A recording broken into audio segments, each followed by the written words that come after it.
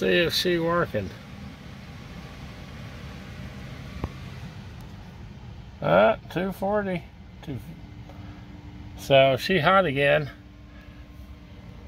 There were no sparks, surprisingly enough. Uh, but it seems to be active here and all. I'll go check at the other panel. Well, I cranked her on. Let's see if we've got 240 here. Yeah, sure looks like it. So the grid, make sure I did the right one. Grid, yes. Generator load.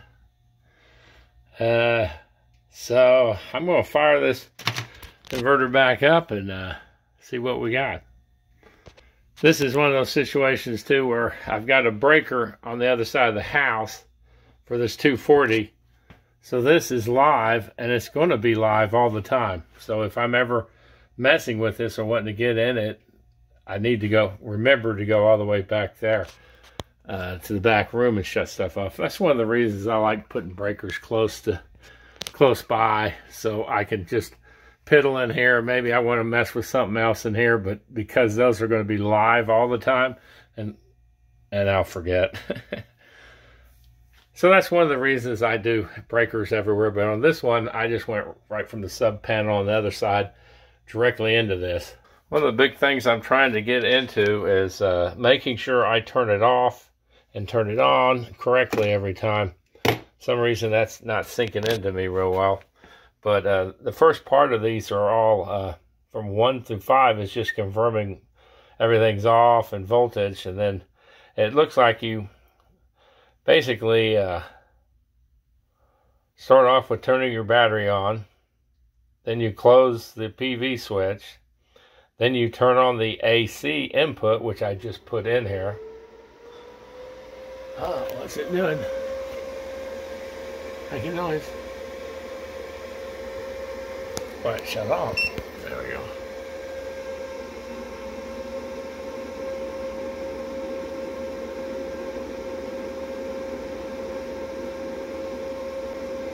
Oh, it's getting sunnier outside. Uh, clouds may be clearing. I thought it was something to do with the AC, but no, apparently the sun's coming out. That's a good thing. Alright. Alright, back to where I was at. So I guess what they want you to do is check all your voltages first, power up the batteries first, turn on the PV switch second, third, turn on the AC or the generator, turn those both on. Then you turn on the inverter on the side switch in the unit, side switch here. And I kind of let it wait a little bit because it kind of goes through little steps and clicks and does this thing.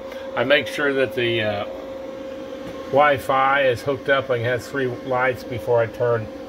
And last but not surely, you turn on the EPS outlet switch, which basically turns the whole thing on, really. It's not the on-off switch on this side. So I make sure that's in, that seems to be the order of it. In my case, I also make sure my BMS is hooked in. I got a good reading on it too. I notice if it's not really awake, and before I do all of this, I make sure I charge my uh, the inverter again, the capacitor and the inverter from the batteries, bypassing all this stuff with a resistor to kind of slowly charge it up without getting big sparks. So there's a few things more to do with this thing. Uh, turning it on, but I want to make sure I keep doing it right. And it seems like I got it right. didn't didn't electrocute myself today. Yay, that's always a good thing. Well, it seems to be up and running. I don't have much of a load on it right now. And it's cloudy outside, but, uh, well, I'm curious as to uh, how I can make this AC now work for me. Uh, and uh, keep these batteries topped off when they get really low. Uh, so I'm going to be filling with that. I, it looks like it's hooked up uh, and good to go. I'm going to be putting my well and my sump pump on this thing too. There's my well, 240. And I've got a couple other spaces to put out some other stuff. I think that's more than enough for this one inverter. especially if I decide to go ahead and do double poles here uh, instead. And then I may try hooking in the hot water heater too. I may put it in there.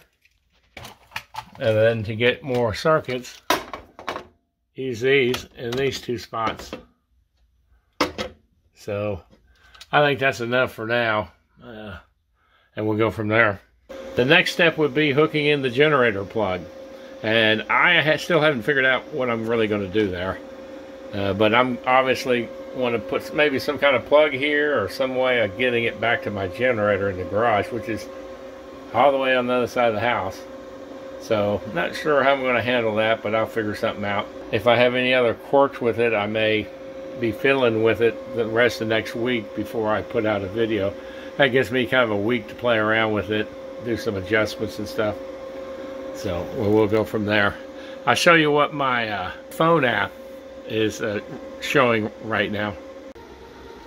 Well, I am dumping some serious power into my batteries right now from the grid while it's running my load. So this is pretty cool. I'm glad I hooked the AC. We had a pretty nasty storm come through here and my batteries were down. It's been cloudy for the last few days and uh, they were kind of depleted a little bit so I hit the quick charge bumped my amps up to 100 amps uh, and now she's feeding in this much power and uh, going to town and I had a bad cell breakout uh, I'm not sure what happened there or why these batteries dropped that much I, I guess I need to I should have balanced them better before I put them on each battery was its own separate now it's together but uh, I'm going to make sure the next battery I'm working on right now, I'm going to make sure it's all balanced really well. And then I'll put it on here, swap these one out, and then go balance this one again. I never did really balance them, and boy, it shows. This is the reading I get on my BMS when it shut off.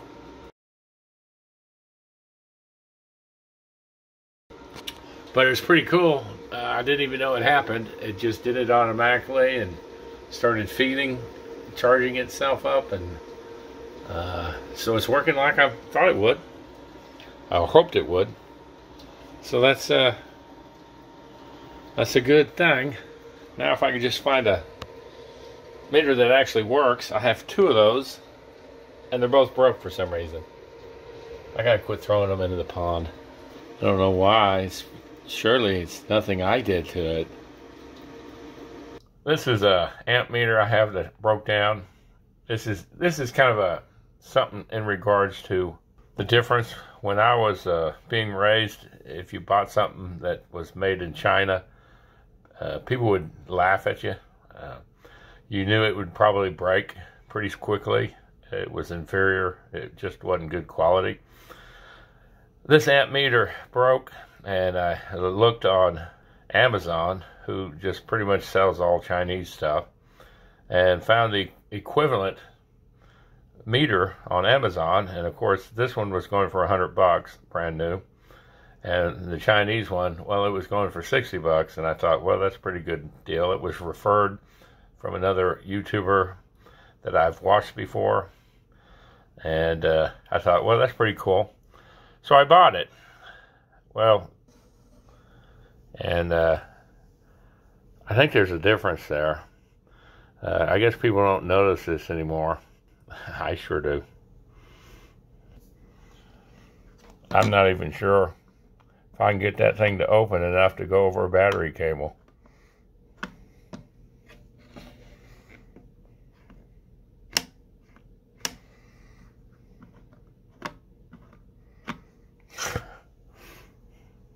Well, my next step is going to be to add in this other battery, which I'm topping off, and get it put in right in here. Tie them all to clean up this battery mess. Figure out a, a better way of doing this. Get it all cleaned up. Put the batteries in. Find out a way of covering the batteries. Uh, but uh, adding this battery in. And then expanding my solar uh, doubling its size. I have it out in the garage just sitting there waiting. So that's what's up and coming. Uh, will be the battery. I'll show y'all kind of how I built a battery.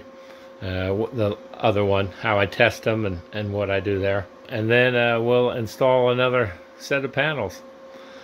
And then somewhere along the line, I'll figure out how to hook the generator into here. By then, I'll have pretty much everything set up. Uh, add the well in into the actual circuit here. Add a few other things into this. And uh, kind of go from there. My next video is going to be on testing this system now that I've got it hooked up to AC and figuring out its final settings and how it, I can make it work. Uh, I ended up running across some problems uh, in the weeks after to uh, that I uh, had to resolve as well. And you'll see that on the next video. So anyway, hope you enjoyed it. Uh, looks like I got my AC hooked up. Uh, like it, I'm going to be playing with it a little bit. Uh, y'all have a good one. Thanks. Take care.